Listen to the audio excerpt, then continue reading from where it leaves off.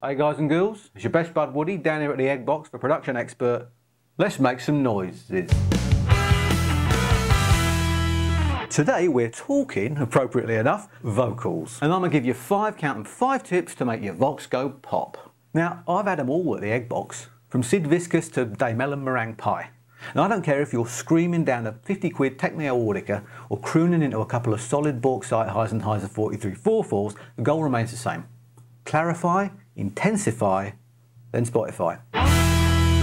First up, clarity, or clearness, or clarification. It's got to be smooth, but it has to be spiky. So, for this session, we're using a Vogue from the terrific new single by John Swan. Thanks, Jay. Just a great songer-songwriter and a very close personal acquaintance. Dancing on a Saturday night. So yeah, sounding fine, fat but not chubby. Signal to noise is fair to both parties, that's a must. Uh, perhaps a bit fivey in the 60s, but that's John. So we're almost there. It's just kind of muddy, and mud don't pay the mortgage. Now, even before we get all the bells and whistles out the oven, there's plenty we can do to add width, girth, and some low latency plumptiousness. By finding the perfect combination of just 20 or 30 different effects, only the very basic values like gain, attack, defense, erotica, and magnificence, it's amazing the difference you can make. Well, just listen. Here's the track before, Dancing on a Saturday and after just two or three days tweaking, Dancing on a Saturday night. well, listen to that. Immediately, it's the same track, I swear, right? But that is like night and south. Dancing on a That's Saturday foggy. night.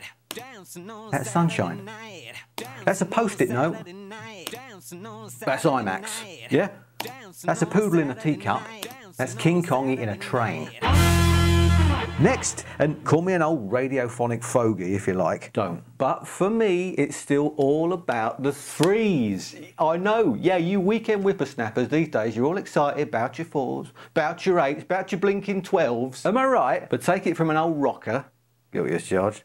If you've got a watch, why buy a cuckoo clock? I'm not wrong. The best DBs come in threes. Yeah? So in Slice Master, in Layer Cake, wherever, just sextuple up, then triple down your opposite hertz, panning alternately left, right, up and down in groups of 9, 3, 6, 18 and so on, to your threshold is no higher than minus 666. Job done. So now you've cleared off your top shelf, put it all in a nice low cupboard. How do we get that basic track from dry as a kite to wet as a merman's breakfast? Okay, yes, I complain that a lot of you young woodies and woodesses out there are still literally civil partnerships to the dreaded auto-tune. Personally, I wouldn't touch it with a 5-inch barge pipe. But, confession time, one similar plug out that I will admit to occasionally taking for a romp around the soft play area is auto mood. Now, no matter how subtle some of these presets may seem, uh, whether it's basic, Dancing got it feels alright. R&B, Dancing got it feels alright. uh, metal's quite nice. Dancing got it feels alright. These are all different, I promise. Uh, Eddie Vedder, of course, Dancing got it feels alright. and backwards. Always nice for a ballad. Trust me, even tweaks as small as these can make a globe of difference. And the great thing is also, none of this needs a seat on your master bus. It can walk home. Feelings. What's a song? Use of the voice to create tonal progression through words set to a melody? You would say that. Nah, nah, nah. Any producer worth his weight in salt or her weight in pepper knows that hidden within the dull, useless clay of a person singing, there are always little nuggets of pure performance platinum. An intake of breath, a croak of emotion as a line dies away. And of course, between the words, those ever crucial silences. Use any automation plug off that's going to enhance all of them. Whether it's Emo Boost by Singy Tech, Feel Fattener from Fatness Factory, or, yep, Mosh Augment by Robin Samples at Hit Wrangler Lab Works. All right, Robin. Those dynamic silences are going to grab your listener by the scruff of their heart and drag them straight to your Bandcamp. Finally, the producer doth mix too loudly, methinks.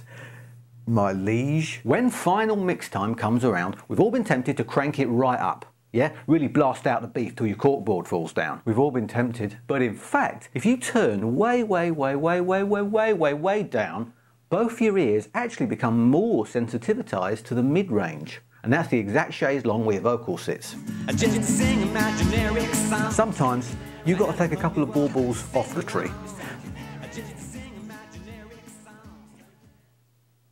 Now it's Christmas. So that vocal, I can bring it up to oh, steady, down a bit. A couple of dBs, it's nothing there? Is it the? That's perfect. No, it's terrible. Is it there? Is it?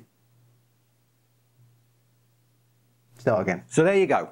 Why spend all those minutes agonising over getting your vocal tracking so-called right on the day, Grandad, when in just a couple of weeks you can fix it in the mix? See you next time, if I don't hear you first.